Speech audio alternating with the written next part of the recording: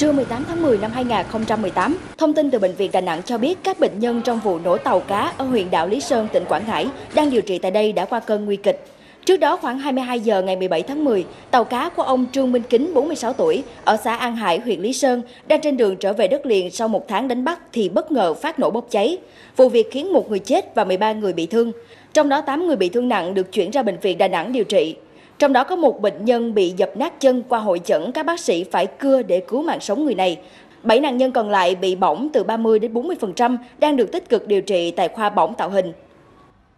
Bệnh viện đã đủ vì tất cả các ờ, phương tiện và uh, trung nhân lực để điều trị các bệnh nhân. Và hiện tại thì tất cả các bệnh đã đủ đầy đủ để chuẩn bị ờ, điều trị cho bệnh nhân. Theo gia đình nạn nhân, vụ việc xảy ra lúc tàu cách bờ khoảng 5 hải lý. Khi tàu phát nổ, một tàu bạc đã chạy đến cứu. Trong vụ nổ tàu, một gia đình có đến 3 người con gặp nạn, trong đó có một thanh niên phải bị cưa chân.